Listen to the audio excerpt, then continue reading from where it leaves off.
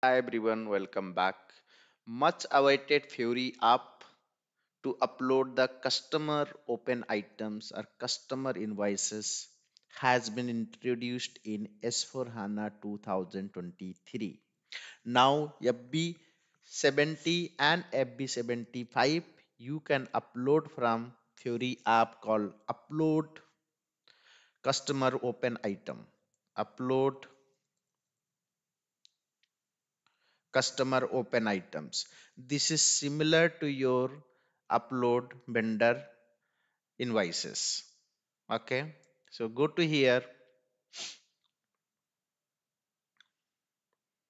There is some problem. Maybe uh, this is app problem. I'll get it fixed. Open it. Go to download. You can download it here in whichever version you want to download download it. Open it. So see it looks like this.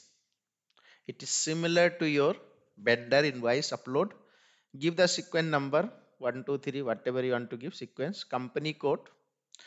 Either you are uploading customer invoice or credit memo. If customer invoice give 1 if credit memo give 2 company code customer number reference number document date posting date document type document header transaction currency and amount.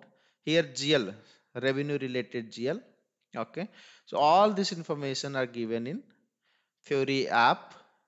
This is very very good Fiori app. It is much awaited Fiori app we have we had to load the gl we had to load the vendor but we are not having to load the customer. So now we got to load the customer also. Maybe in future we'll also get to post mass level asset also. Thank you so much. Please practice this app. Thanks a lot